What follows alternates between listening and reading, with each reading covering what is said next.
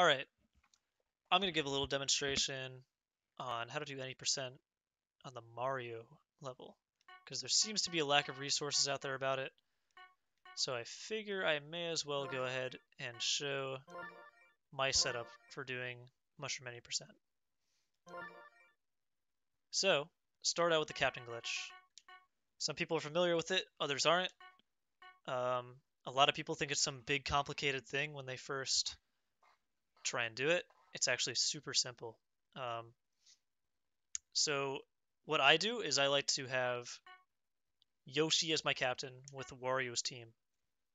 So in order to do that, I want to first hover over Peach.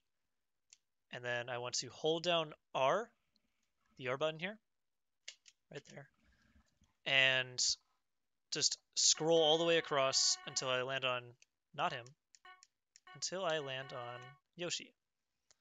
And then you'll see that Wario's frame is like in the background there, but Yoshi's the one who's actually like, you know, doing his little dance in front of it, and you see Wario's team next to it. Um, and that's all it is. That's all you have to do for the captain glitch. So once you've done that, select Yoshi. This is who I always pick.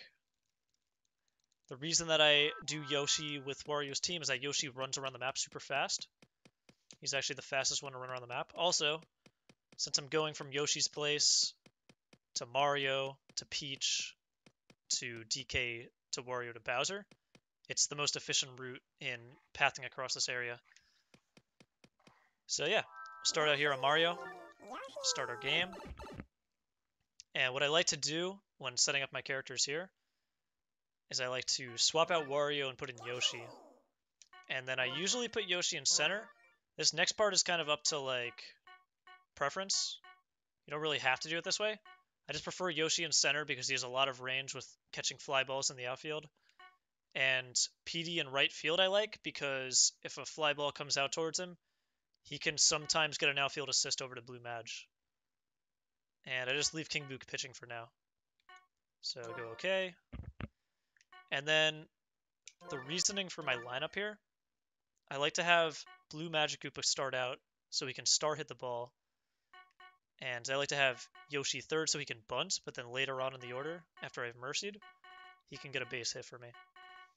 Um, I also like to move Petey into the four spot because I like to have him doing a regular hit and then having Yellow Madge do a star hit and then King Boo do a regular hit after these guys have done the bunt glitch, which is what I'm going to show you now. Okay, first up, Blue Magic Koopa. You're going to want to get a star hit like that. You can basically leave him, on, leave on first for now. Right, so now we're going to steal a Blue Magic Koopa. And we're going to get a base hit with Waluigi, and we're going to advance Blue Magic Koopa over to third. Mm -hmm. So now we have our runners in first and third, and that's where we're trying to go for. So now, since we have first and third, what we want to do, this is where it gets kind of tricky. Um, we're going to steal with the runner on first base. But we're not going to steal with the runner on third base. So in order to do that on the controller, you will push up on the control stick and Y. And that'll only steal with your guy from first base going to second. And the reason that we're doing that is so that the computer will want to throw the ball home and get me out.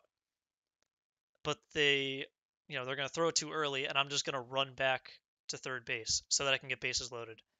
And that's basically how you cheese the computer manipulating them to throw home, foregoing the out that they could have gotten, and then getting the bases loaded with no outs. And that's kind of like the big strategy for mercying in this game. So, we're going to steal Waluigi here, bunt with Yoshi, bunt goes down, Mario's going to throw home, I'm going to go back with Blue Magic Koopa there, and now I have bases loaded.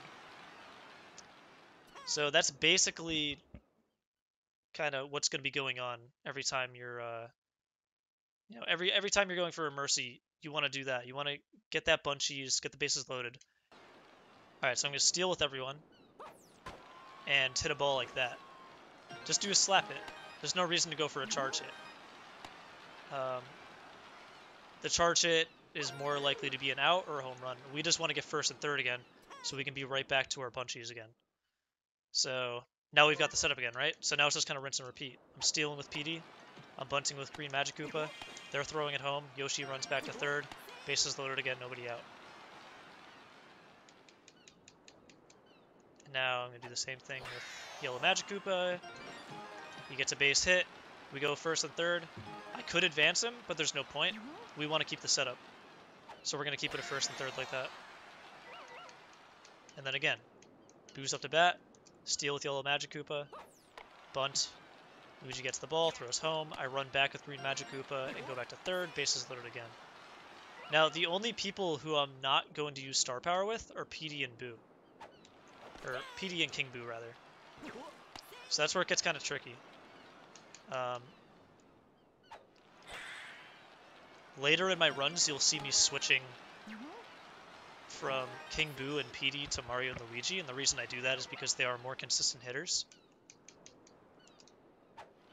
But yeah, we'll go back to the cheese here. Mario throws home. I go back. Everybody's safe. Now, this is where it takes a slight twist. Now I'm going to steal with everyone. I'm going to star hit with Blue Magic Koopa. And this time, I'm not going to stop on first with Blue Magic Koopa. I'm going to bring him to second base. So now I have second and third. And the reason I'm doing this is because I have eight runs. So now I can just bunt in both of the runners, and you'll see what I mean.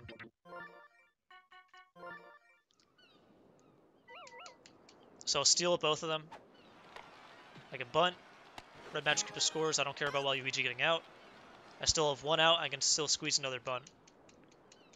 So now I steal again. Yoshi bunts. Score. Yoshi's out. And then now I just want to get PDO because we got our 10 runs.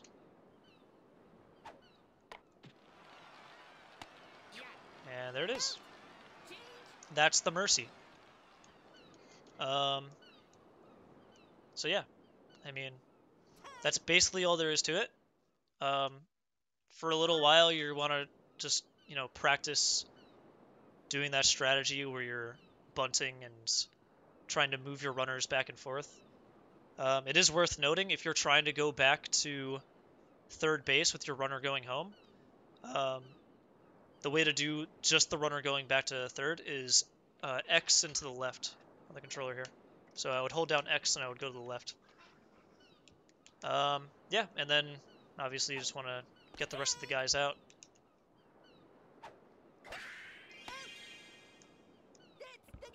Right, so now we're done with this game. We got the Mercy. Got our big MVP Petey. And now the only other part worth mentioning for my setup for any percent is just this next small part here. So after I beat Mario, I acquire Mario and Luigi because I mercied them. So I get them on my team now. And Mario and Luigi also happen to be good hitters. And since I'm only doing contact hits with Petey and King Boo, it doesn't really make sense to keep them on my team when their hits are a little bit more inconsistent than Mario and Luigi's hits. So I swap King Boo with Mario, and I swap Petey with Luigi. And I keep Mario on the mound for a specific reason, actually, because he's actually the fastest pitcher in the game. Alright, so the reason that Mario is a good pitcher is because you do an animation cancel with him. Um, I don't know that I've mastered the exact timing. Um, it just takes a little bit of getting used to. But basically, after Mario's thrown a pitch, you can start the next pitch before his animation's over, like that. And he ends up throwing the ball really fast. And obviously the idea as a pitcher is that you want to get through the inning fast, so you want to try and throw the ball as fast as you can. So here, I'll click, and then it cancels the animation again. Obviously I threw a ball there, which isn't good, but it just shows you how much faster he's, you know, throwing the ball. If I compare it to when he's throwing the ball without doing that animation cancel, uh, it's a lot slower. That's how long it takes him. So you've got to get the timing exactly right so that he's able to throw the ball before his animation is complete like this. And that is what makes Mario the best pitcher. But yeah, um, that's basically it for the tutorial. I know it was pretty scrappy, but yeah, I hope it helps people that are trying to get into the speedrunning of this because it is a really fun speedrun once you get into it. And after you get like this technical stuff down, it'll be just muscle memory. Uh, but anyways, yeah. Hope you guys enjoyed. See you later.